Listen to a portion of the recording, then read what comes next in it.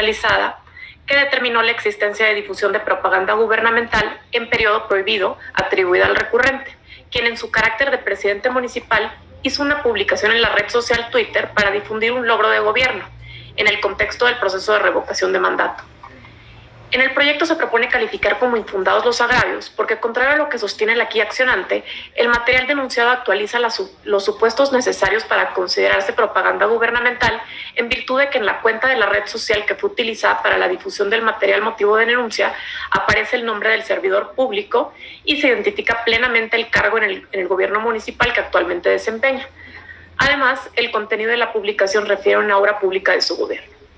Aunado a lo anterior, la publicación tuvo como propósito buscar la adhesión o persuasión de la ciudadanía al presentarse un acontecimiento ocurrido en la administración del recurrente, con una lona de fondo en una pequeña reunión donde sostiene un micrófono, lo cual permite deducir que tuvo uso de la voz y posteriormente hizo la publicación en su red social buscando lograr notoriedad.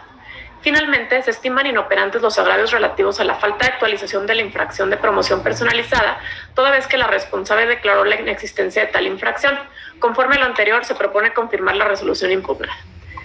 Para,